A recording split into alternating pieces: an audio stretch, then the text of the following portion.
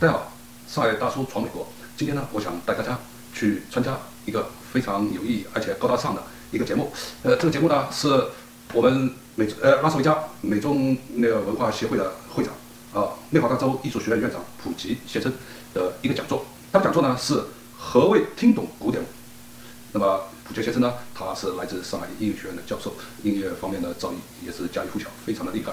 那么我想，像我这样的一个小白，呃，对音乐也不怎么很厉害。但是呢，我跟普吉先生呢也有一点点的因缘。为什么呢？我在九一年的时候呢，也去上海音乐学院的函授学习音乐乐理和听音简谱。那个时候呢，我们要考那些个上岗证，而且我刚刚从学校出来，也希望能够考进上师大，对有一个音乐的乐理知识的学习。那么舞蹈再好，音乐不同等一点。好，我是这样想的啊，我们人类在这个。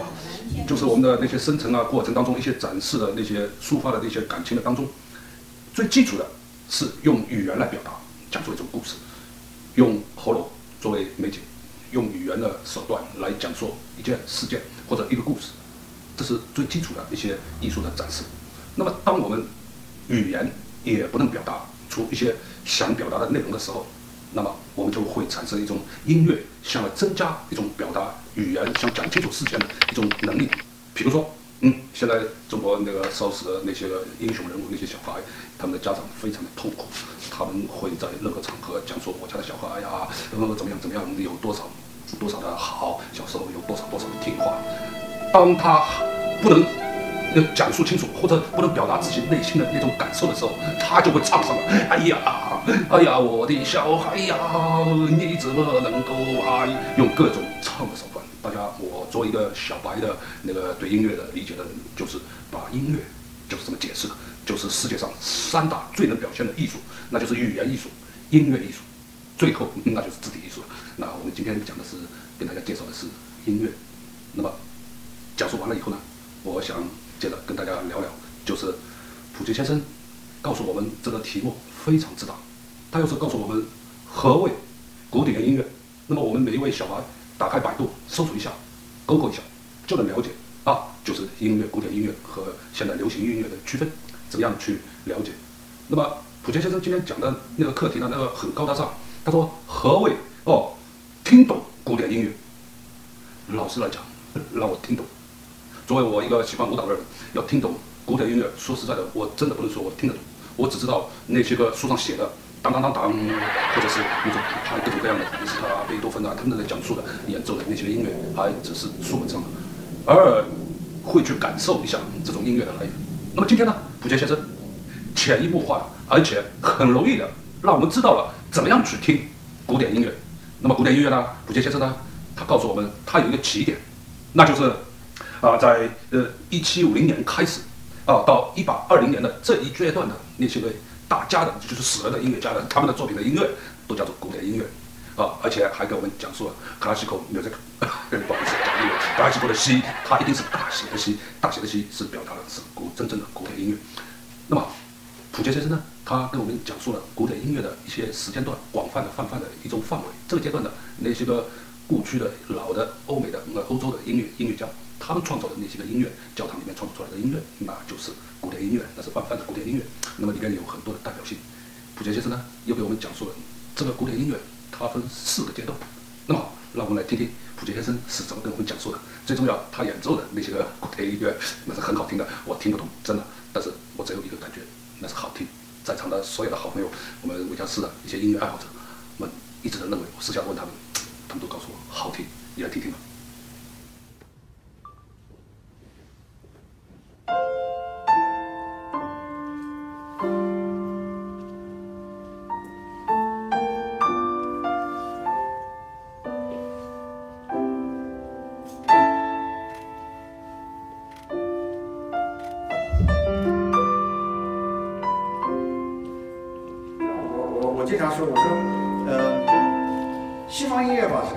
四个音乐史，第一个呢从巴洛克时期开始，啊，呃，第二个叫做古典时期，第三个浪漫时期，第四第四个叫现代时期。咱们现在先就是，如果我们要是今天来讲是古典音乐的话，我们就说不是说要真的要去听懂它，而是说要了解一点的话，我们知道这四个不同的时期。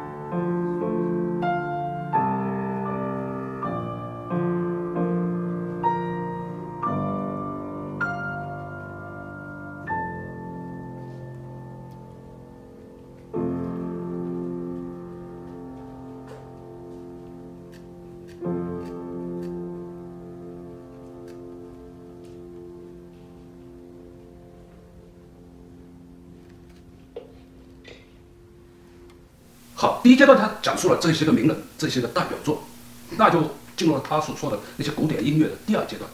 普杰先生同样的为我们演奏了他们的代表作或者是感受的一些东西，让我们同样的来听听普杰先生这一些说道啊，让我一个小白听得都入迷感动，而且感受非常的棒。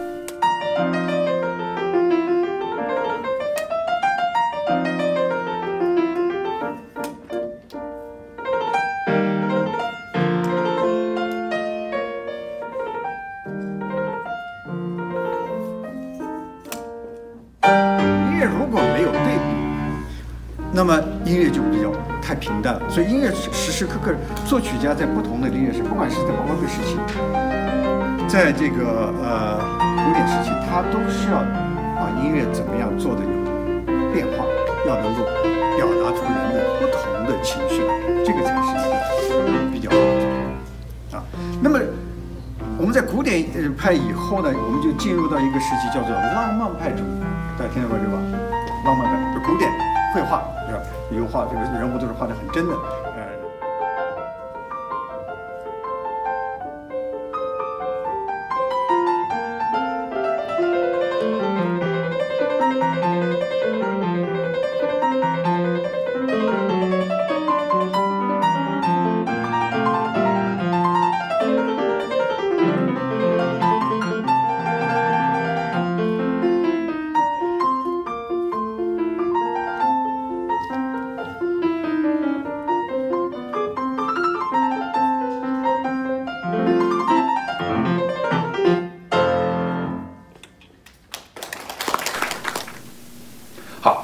普杰先生讲述了那么多，然后又会讲述第三个阶段的古典音乐，他们的表演形式又是那么的委婉动听，而且在前人的基础上不断的发展挑战出一种新形式的啊什么节奏啊、前奏啊、大悲咒啊，哎，不是，不是，不是佛教，好多那种奏奏奏，好多的奏。你听完普杰先生的那些讲述，你就会感到这才是古典音乐的那个时代的真正的经典。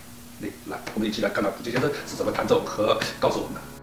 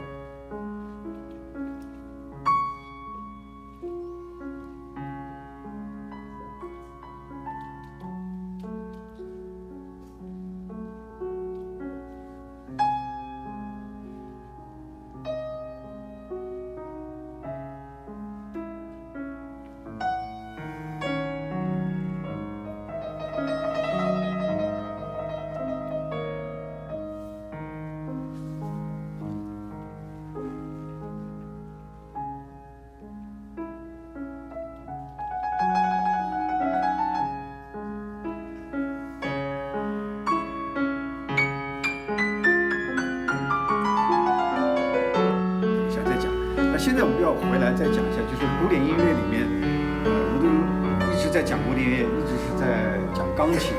其实呢，它古典音乐也有它表现的特殊的其他一种乐器，是吧？所以我们听到的交响乐，交响乐队里面我们有什么乐器呢？有弦乐器、管乐器，还有打击乐器。弦乐器里面它主要是分为小提琴、中提琴、大提琴、大贝斯。管乐器里面它分铜管和木管。就铜管乐器里面有什么？有小号、有圆号、有长号、有大号。然后这个木管乐器里面有什么？有长笛，有双簧管，有单簧管，有大管。就这些乐器组织起来以后呢，就成了一个叫交响乐队。我们听平常所听的交响乐，就是由这些乐器组成。这些乐器呢，有的时候会跟其他独奏乐器合作，比如说乐队跟钢琴合作，那就变成了叫做协奏曲，就是这个呃乐队协助这个钢琴独奏，这是叫协奏曲。呃，那么如果是乐队自己演奏，那就叫做管弦乐曲，或者叫交响曲。如果大型曲子叫交响曲，这就是说基本的一个一个概念。那么我们今天当然没有办法请这个交响乐团来，是吧？这个乐器太多了，我们也没办法请他来。但是我们请了一个，今天请了一个呃特殊嘉宾啊。这个呃特殊嘉宾呢，呃，是我们多尔斯的女儿，啊叫做咪咪。这咪咪呢？OK。他呢是呃学大提琴的啊，呃，大提琴是在。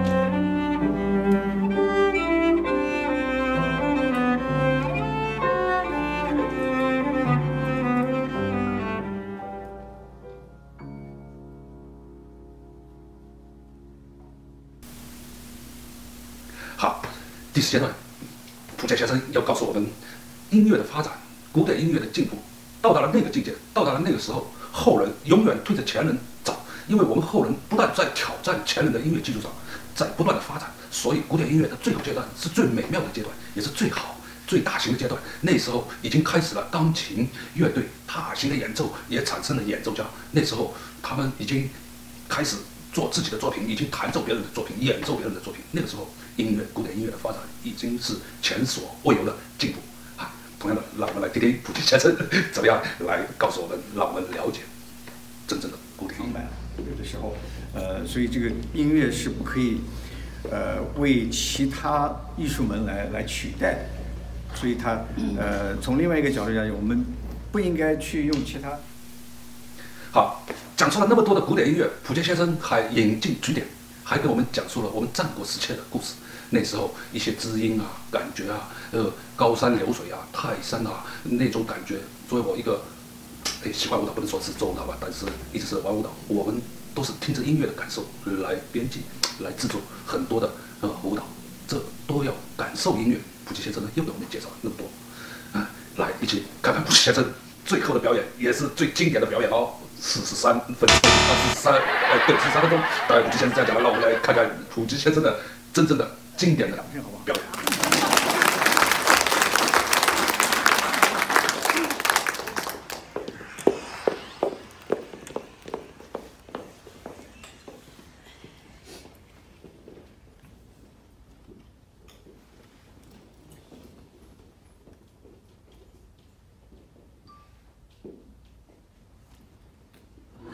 作曲家呢叫 John Cage，约翰凯奇。凯。约翰凯奇呢是很有名的呃勋伯格的学生，啊，他是美国啊先锋派音乐家的代表。凯，那么大家刚才听到什么了？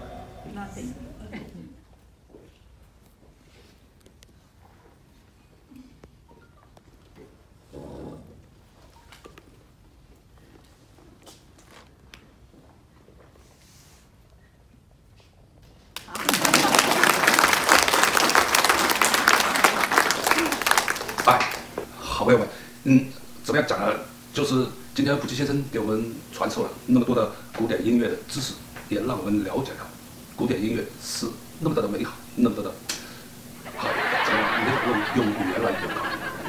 然后呢，最后普吉先生又非常的平易近人，让我们在座的一些音乐爱好者提问题。那么呢，我呢作为一个小白，也傻乎乎的提出一些呃很白的啊一些问题。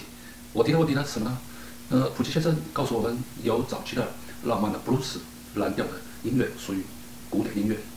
那么古典音乐的布鲁斯，当年呢在宫廷当中，蓝调布鲁斯的音乐就是我们作为舞蹈者追求的，他们宫廷舞蹈所专有的音乐。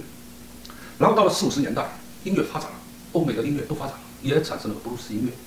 然后传到四十三四十年代，传到了我们中国。我们中国呢，也同样在我们老家上海，好多的早期的白龙门啊那些音乐当中，都应用了布鲁啊布鲁斯的音乐。那布鲁斯的音乐跳着跳着，他们就变成我们中国独有的节拍那种舞蹈。然后到改革开放了以后，这布鲁斯的音乐同样在传传唱，同样的在传播。然后我们的社交舞又发展了，到今天的发展的那些广场，我们的大妈把节拍已经变成了水兵，然后风靡我们整个的中华大妈都在跳水兵舞，啊，喜欢的人不得了。那么我想。当时的时候，在场的时候，我就问普吉前辈：“这也是布鲁斯，那也是布鲁斯，怎么传承到中国，就会变成两样的布鲁斯？”